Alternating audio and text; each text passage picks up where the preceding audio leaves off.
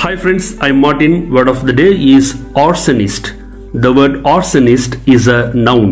It refers to a criminal who illegally sets fire to property அப்படின்னு சொல்லலாம் அதாவது சட்ட விரோதமாக சொத்துக்களுக்கு தீ வைக்கும் குற்றவாளி அப்படின்னு அர்த்தம் ஃப்ரெண்ட்ஸ் தீ வைத்து ஒருவருடைய சொத்தை அழிக்கிறதுல ஸ்பெஷலிஸ்டான ஆட்கள் இருப்பாங்க பார்த்தீங்களா அவங்கள தான் இந்த ஆர்சனிஸ்ட் அப்படிங்கிற இந்த வார்த்தை குறிக்குது ஒருத்தர் வந்து தன்னுடைய சொத்தையோ அல்லது பிறருடைய சொத்தையோ அந்த சொத்தானது நிலமா இருக்கலாம் வீடா இருக்கலாம் அல்லது ஒரு நிறுவனமா இருக்கலாம் அல்லது காரா இருக்கலாம் இவ்வாறாக எதுவானாலும் இருக்கலாம்.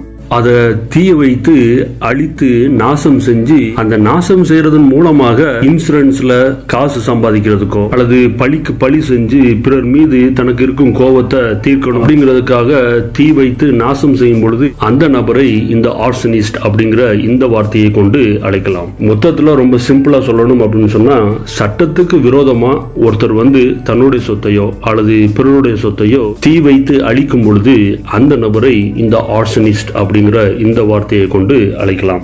ஸோ தமிழ்ல வந்து சட்ட விரோதமாக தீ வைப்பவர் அல்லது சட்ட விரோதமாக தீ வைத்து நாசம் செய்பவர் அல்லது தீ வைத்து நாசம் செய்பவர் அப்படிங்கிற அர்த்தத்தில் இந்த ஆர்சனிஸ்ட் அப்படிங்கிற இந்த வார்த்தையை பயன்படுத்தலாம். இதை வச்சு சென்டென்சஸ் பார்ப்போம்.